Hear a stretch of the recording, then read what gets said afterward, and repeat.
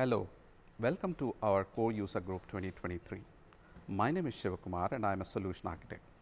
Today, I will present a demo about digital twin for optimizing CNF configurations.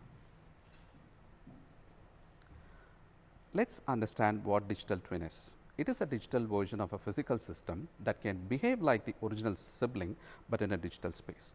It can produce results that are predicted based on inputs fed to it. So, how can we harness it for Nokia Core? Core network elements are already in digital form. We expect their twins should perform tasks that are hard to conceive from the production network and provide state machine model output. In this demo, we will show how Nokia TAS digital twin configuration validator removes complexity in analyzing the Nokia TAS MCS digit analysis and provides an uncluttered graphical view indicating success or failure status for a given call scenario. Two major objectives will be accomplished with this digital twin in today's demo. First is to validate the set of preconceived regression test cases considering the updated NTAS configuration and second is to create test case pertaining to the configuration change that is for the new service to be introduced. These test cases are built to mimic the mobile originating call from serving CSCF. For each of the above test cases, digital twin will validate and provide pass or fail status. For the failure test cases, relevant parameters should be updated in the configuration XML and then should be validated again to ensure that there are no failing test cases. Digital twin provides end-to-end digit analysis call flow visualization that is created dynamically for each test case. Nokia TAS MCS is one of the complex network elements in the IMS subsystem having a great deal of configuration possibility. Digital twin can help validating the new configurations based on the test input and validation checks. Let us take a closer look at the steps involved in this process. First is to download the running configuration from Nokia TAS MCS. In the second step, make changes as per the new service to be introduced and upload it to the digital twin. Third step is to import regression test cases and validate. This is to ensure that all existing call flows are intact with the new changes made to the configuration data. In addition, build new test cases pertaining to the service being introduced using the digital twin GUI pass fail status of these test cases will be shown after validation. Fourth step is to correct the configuration based on failed test case and perform the testing again to ensure that all failures are resolved and the configuration is fit for uploading to the production node. As a final step, the digital twin validation configuration file shall be uploaded to the production environment and ready for the new services. Let me start the demonstration.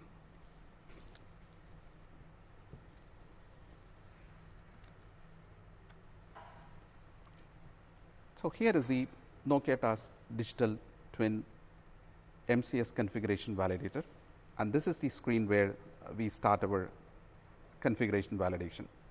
The first step is to browse the file which is the configuration XML from your production system and then upload it to the digital twin tool. Let us say now that it is uploaded, the next step is to import the test profile before importing, I would like to show the contents of the uh, contents of this file. So, here as you can see uh, there is a block of uh, test case which contains the input parameters and then the validation section. So, these are the parameters that are uh, truly from Nokia TAS MCS and which needs to be validated and this is the validation rule or the validation case that we need to verify for each of the respective test case. So, here we have given like 6 to 7 test cases as an example. So, let me now import this test profile. So, here we have the browse to, to do that. Okay, I choose this file which is in the JSON format and now we can see that the file is uploaded. Perform the regression testing by pressing this perform test. So, it takes a couple of uh, seconds and, and depending on the uh, large volume of the data, it would take uh, uh, some time to put that. But here you go. Here you can see that all the test cases that are given in the input file have been listed and and and and it's it's put in horizontally starting from test case 1 up to test case 7 right so for against each of the test case we see the we see the validation result whether it is pass or fail so the click marks tick mark shows its success and and the cross mark shows it's a failure right.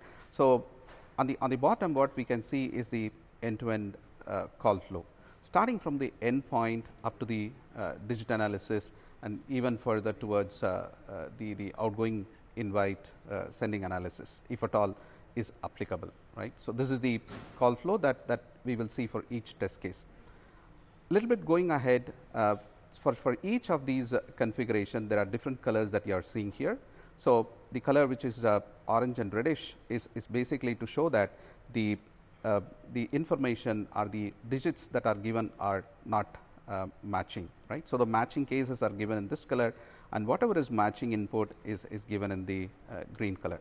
So, on top of it the, the solid green color is the one which says whether the validation is, is successful or failure. So, here in this case we see that the validation is successful that whatever the input that is given to identify under extended pre-analysis, the result should be original, dialing class 5 is successfully validated.